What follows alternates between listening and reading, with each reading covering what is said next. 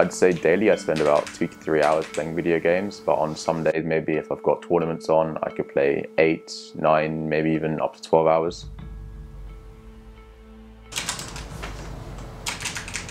An addictive behavior actually feels very good to the individual because what the activity is doing is releasing dopamine, which is a quote unquote feel good neurotransmitter.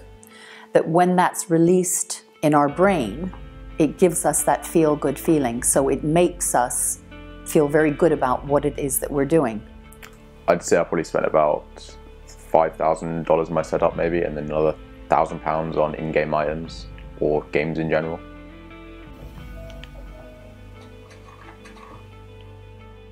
Um, I first started playing video games when I was probably about eight when I got my PlayStation.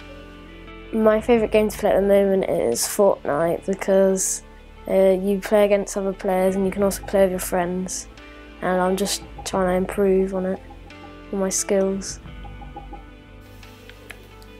So I'm aware of the negative impacts and I try and keep away from them and just speak to my friends instead of random people. I was certainly worried about negative effects of gaming and all the worries and concerns you'd obviously heard on in paper, media, and all that. But um, I felt it was something you could you couldn't deprive him of because it was, the children all chat about games and stuff. So you don't want to be completely um, you know harsh about it and feel possibly he's allowed it, but it needs to be controlled somehow. So that was my way of sort of giving into it, really. Gaming addiction becomes problematic if a child does anything, avoids anything but gaming. So if they have no social life, if they aren't able to engage in school, or if they aren't able to engage within the family unit, then of course that's going to be bad. I'd rather play with my friends online than meet them at the park because I'm still speaking to them, uh, but we're both doing what we both enjoy.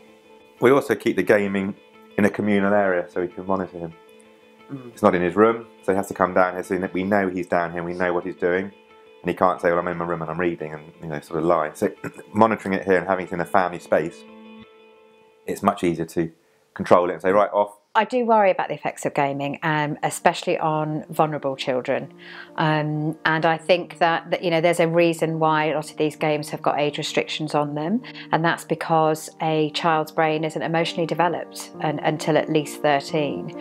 And so the vulnerability of, of these children in that they, um, you know, they think that they're speaking to their mate in another school or they speak, think they're speaking to, you know, someone else playing who's the same age as them.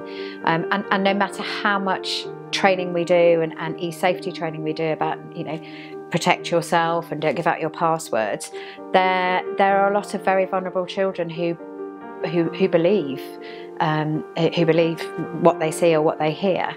I, there's a case study um, two years ago with three year six girls who were gaming. They were having a play date and they were gaming with some game. They were talking to to some um, who they thought was a, another student at another school, and it turned out that he wasn't. He was a 40 year old man, and he managed to persuade them off the game onto WhatsApp, then onto Skype. Um, and then ended up filming them and, and was quite abusive and they, they were sexually um, exploited. Um, at no time when I talked to those girls afterwards did they think that they were in any danger or, or felt made to feel uncomfortable. And when I asked them why, they said, well, we didn't give them we didn't give him our password, we didn't tell him which school we were at, we weren't wearing our uniform, and he said that we could stop at any time if we felt uncomfortable. So I really do worry about the you know, the younger that they start gaming, the more vulnerable that they are.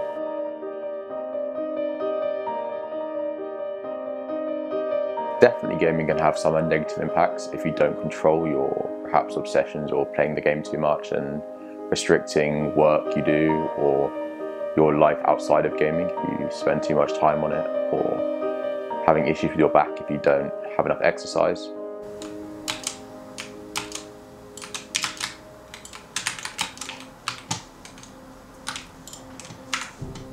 Gaming itself is not bad.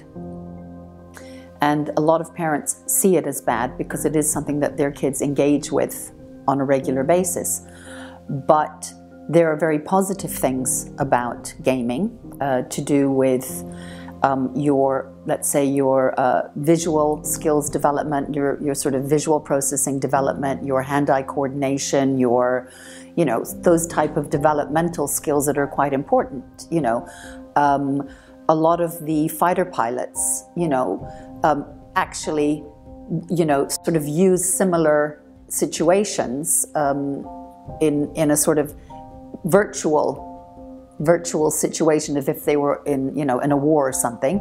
And it is very similar to a game that kids play you know online these days. So it, it's nothing nothing about it is is bad. At the same time is it good? Well yes. I mean it's it's something that is quite useful there's nothing wrong with gaming as long as it's done you know appropriately with the right type of boundaries I'd say the most positive things come out of gaming are one, the fact that it's an escape from the real world, and two, the fact that you make really good connections with mates and you get to spend time with them. Uh, and it also helps you build like skills in terms of working together as a team. The other positive um, um, impact is for those children, you know, that are academically brilliant and able. There are some that are really sporty, and then there are those kids that just haven't got their thing. So it may be that that gaming is their thing. So it's it's really good for their self-esteem. They can express themselves and they find something that they can be good at. So I think um, it, there's another outlet for them to feel good and boost their self-esteem. I'd say certainly socially, playing games has helped me in terms of meeting a lot of new people, becoming more confident in myself, especially streaming can help you uh, become a lot more confident, showing your face to hundreds, maybe even thousands of people. Uh, I think with the media portraying video gaming perhaps as negative is mainly because they don't understand the benefits that can come from it and they just see it as a sort of toxic community that they're not really part of. Which at some times, of course, it can be quite toxic, but there's other ways in which it benefits people in terms of creating certain friendships and the world has moved on from where it was 30 years ago.